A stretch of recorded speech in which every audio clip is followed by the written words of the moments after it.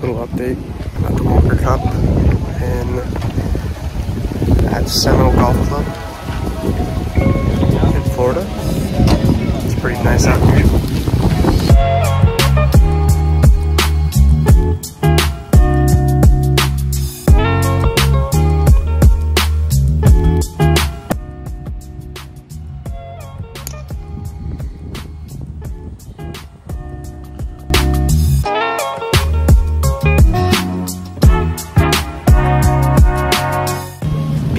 Here on the 18th green. I hope somebody goes back here on this track So just because it'd be cool. I want to be on TV.